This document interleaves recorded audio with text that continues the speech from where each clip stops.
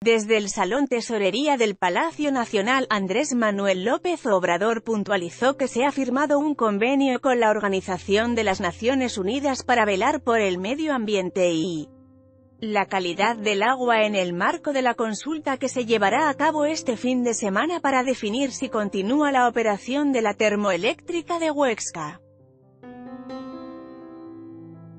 Manifestó que la inversión es de 25 mil millones de pesos en la construcción y abundó que es una empresa de la nación. Si no funciona la planta se pierde la inversión ya que es dinero del pueblo.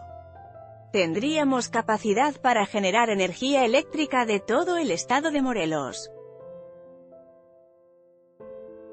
Aquí los temas más importantes de la conferencia matutina de AMLO en conferencia de prensa expuso que la oposición sostiene que se afecta el agua y que se contamina, por lo que tenemos elementos para decir que no hay esa contaminación y que además estamos dispuestos a que haya supervisión de la ONU sobre esto acotó que se están haciendo cargo del desarrollo de la región y de apoyar a los campesinos que no van a tener menos agua, sino al contrario, ya que la planta tiene un proceso de limpiar las aguas residuales, además de revestir canales para que no haya fugas.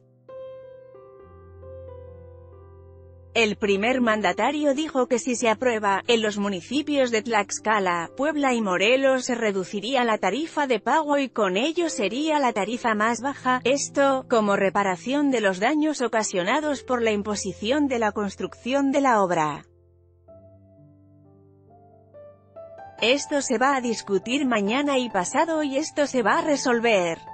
La gente libremente va a resolver. Punto. Yo dije mi postura y creo que conviene al interés general que se permita que la planta pueda funcionar, pero voy a acatar la decisión de los ciudadanos, cualquiera que sea.